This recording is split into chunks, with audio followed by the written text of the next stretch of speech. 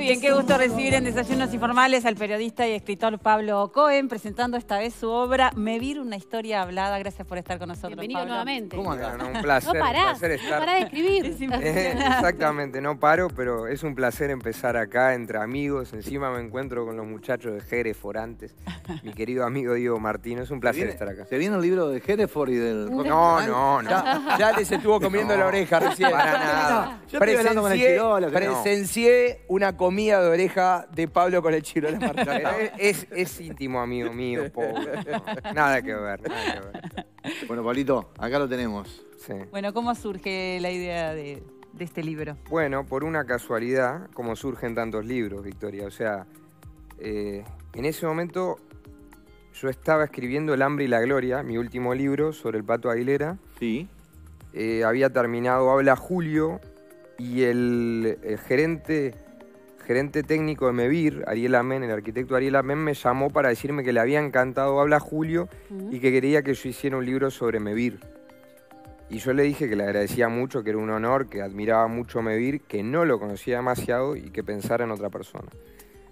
Este, me insistió tanto que empecé a averiguar, a leer cosas sobre Gallinal, sobre Mevir, y me dio tanta libertad para hacer el libro que dije, bueno, si hacemos un libro de entrevistas, que es mi especialidad, que hable de Mevir, pero sobre todo de las políticas públicas uruguayas, de la sensibilidad social en Uruguay, de Gallinal Heber, que es el, creador de Mevir, y puedo hablar con todos los presidentes vivos de la democracia, yo lo hago.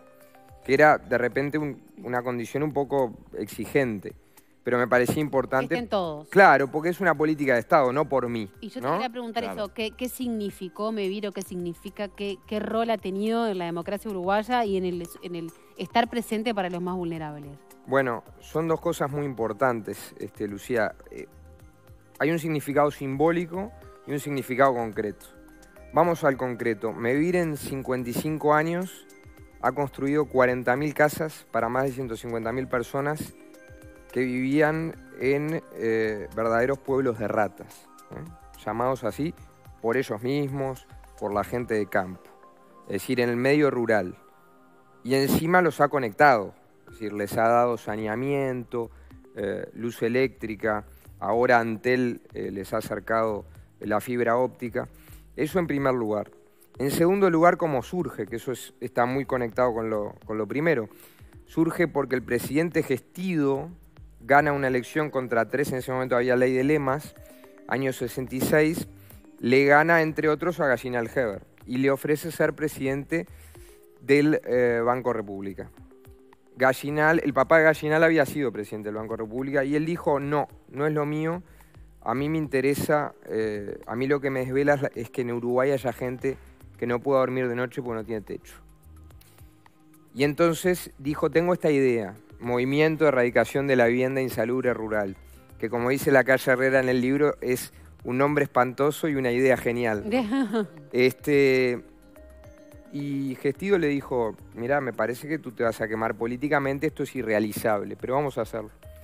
Y lo hicieron, y creo que eso, Lucía, simbólicamente es espectacular, porque es un acuerdo entre el vencedor y el vencido, entre dos partidos que en ese momento eran claramente oposición y oficialismo, como hoy pueden ser el Frente Amplio y la coalición multicolor, y a mí me interesó... Trascendiendo lo político pensando en el bien social. Exactamente. me como debería interesó- ser la política. Exactamente, la política con mayúsculas. Eso es lo que me interesó. Ver hoy, en el Uruguay de hoy, esto es realizable. Esa sensibilidad social desbordante que tenía Alberto Gallinal, que lo hizo poner calladamente cualquier cantidad de plata para que la gente en el medio rural eh, no viviera en condiciones indignas y se convirtiera en una política de Estado. ¿Es realizable? Hoy la oposición, sea cual sea, diría sí, vamos a hacerlo. Y me parece que era una historia para, para contar y ahí fue muy importante Ana Ribeiro como entrevistada para contarla. ¿Y qué significa que la presentación de este libro, que va a ser en las próximas horas, estén presentes el actual presidente de la República, el ex presidente de la República, o sea, la calle Pou. Mujica y Julio María Sanguinetti? Significa que Mevir pasó a ser lo que la calle Pou en este libro llama una política país, que es más que una política de Estado. ¿Qué quiere decir? Que parece una sutileza, pero no lo es. Eh, Cuando hay una política país, no importa que vos seas apolítico como ciudadano, vos la defendés. Piensen en Antel, por ejemplo. Cuando decís Antel, tú como uruguayo sentís cierto orgullo, aunque critiques algunas cosas. Entonces, en Mevir es lo mismo. Fue tan eficiente, eh, administró también los dineros públicos y los dineros privados, construyó tantas viviendas, fue defendido por tantos gobiernos, que bueno, por eso van los tres Claro. presidentes al- a- a- ahí. Y te digo algo que me sorprendió.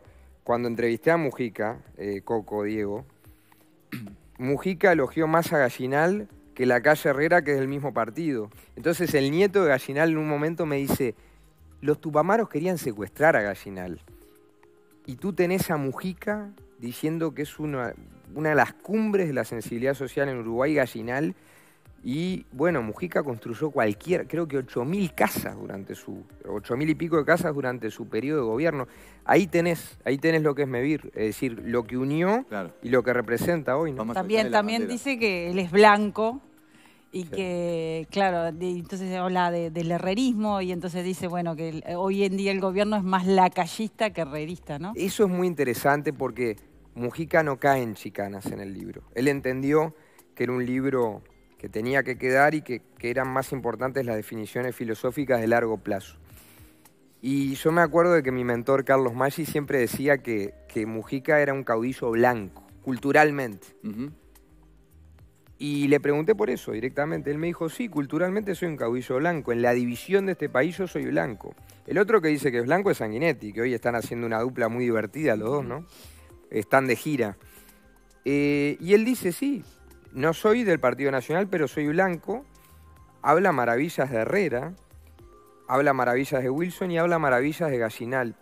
Entonces yo con lo que me encontré fue con un señor eh, muy pragmático y te diría con un libertario de izquierda con simpatías blancas. Y habla muy bien de José Valle y Ordóñez también. Muy bien, de Valle Ordóñez, eh, con un poquito de, de maldad, porque dice, maldad no, maliciosidad. Dice, eh, Valle Ordóñez fue un contrabandista político, porque agarró un partido reaccionario y lo volvió progresista. Esa es la, la definición maliciosa de, de Mujica, pero obviamente Valle Ordóñez, Mujica en un momento comenta, yo era presidente y no paraban de llegarme invitaciones para inauguraciones de escuelas rurales, ¿no? ¿Y por qué me llegan todas al mismo tiempo? Y dice, era Valle y Ordóñez hablándome 100 años después, porque Valle y Ordóñez las había inaugurado. Quiere decir que como todo en Uruguay, muchas veces nos fijamos en las grietas, pero hay puentes, hay hilos invisibles, hay políticas de Estado. Y eso en la región, incluso en el mundo, es algo que deberíamos cuidar como un tesoro institucional. Claro. Cuando la condición que pusiste fue que estuvieran eh, los tres mandatarios, ¿no? Sí. Este, cuando te dan el ok que está, cómo fue ese momento.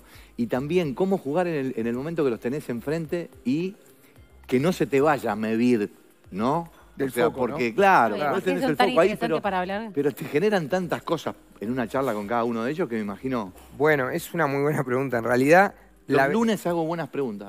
Eh, los lunes, después de ver a Martino, te inspiras. Eh, lo que pasa es que el libro te da esa ventaja. Claro. Tú tenés que buscar un equilibrio, que lo tenés después en la edición, después de haber escrito, entre no irte de tema y no tratar solo el tema. Porque me es mucho Porque más... el contexto está bueno, pero tampoco puede Exactam- exactamente. Y entonces, eh, eso lo ves en la edición. Eh, yo te diría, el que fue más difícil de convencer probablemente haya sido la calle Herrera. Porque la calle Herrera, por un tema obvio, fíjense esto, hubo presidentes que tuvieron hijos que llegaron a ser presidentes. Lo que no, nunca pasó fue que estuvieran vivos los dos al mismo tiempo. Claro. Entonces, obviamente, él tiene Cierto, un rol claro, de tener claro. cierto cuidado de algunas cuidar cosas. de Eh, cosas. todos lo saben acá, Claro. digo, eh, que, que está muy retraído de la vida pública, ¿no? Entonces, eh, él habl- me costó convencerlo, pero ta, yo le dije, están todos, van a estar todos.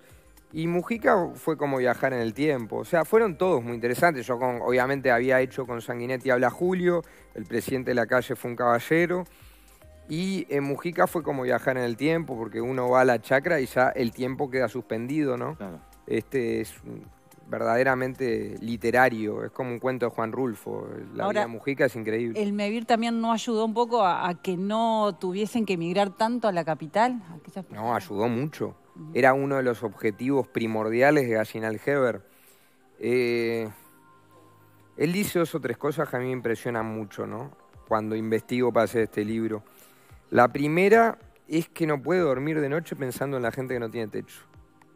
La segunda es que él habla en un congreso de la Federación Rural en el año 67, habla de los rancheríos, de los pueblos de ratas, y dice palabras más, palabras menos que nadie le da corte, que nadie le presta atención, que a nadie le importa.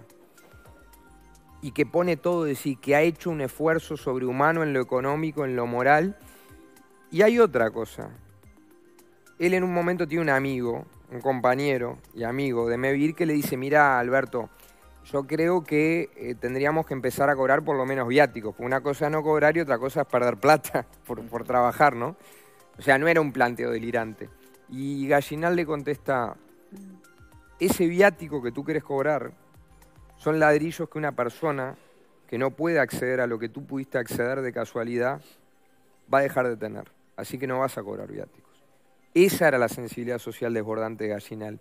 Entonces, obviamente, primero estaba la persona, el individuo, esa sensibilidad de que no hubiera pobreza y que no hubiera vivienda rural indigna. Pero lo segundo era, che, hay un éxodo brutal, hay asentamientos de gente que viene del interior a la capital, tratemos de evitar ese éxodo. Y ayudó mucho. En los 40 en Uruguay eso era un drama y creo que, de nuevo, la doctora Ana Ribeiro eh, fue una de las entrevistadas claves para entender todo ese proceso histórico eh, y cómo eh, lo rural y el interior desde la capital no siempre son entendidos. Y eso, obviamente, es algo este, en lo que Ribeiro cita desde Artigas hasta París y Sarabia. ¿no? Claro, nada más aquellos propietarios con tierras enormes, ¿no? Eh, donde principalmente trabajan con ganadería, donde menos mano de obra se, se- se utiliza, entonces también esas personas Bueno, que quedan claro. a la deriva, ¿no? eh, el alambramiento de los campos, la ganadería, todo lo que expulsó a la gente del campo, eh, preocupó a mucha gente durante muchas décadas en el Uruguay. Y Gallinal dijo, uno de los objetivos es evitar esa sangría del interior de la capital, sin dudas. Pablo, ya está a la venta. Sí, señor, por el MEVIR, teléfono del MEVIR, eh, está ahí en producción en el GRAF. Eh, va a ser un placer presentarlo mañana y ha sido un placer estar con ustedes como siempre. Gracias, Igualmente, Pablo. Gracias, Pablo. Gracias a ustedes. Muchas gracias. Ahora...